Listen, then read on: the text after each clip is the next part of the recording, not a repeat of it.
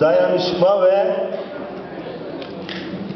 birbirine bağlı kalma sadakati göstermek olan bu toplantıyı hepiniz hoş geldiniz diyoruz.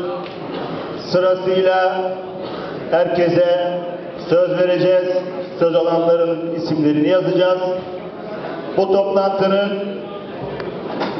ülkemiz için, ilçemiz için, ilimiz için hayırlı olmasını dileğiyle hayırlı toplantılar diliyorum. Sağ olun, var olun.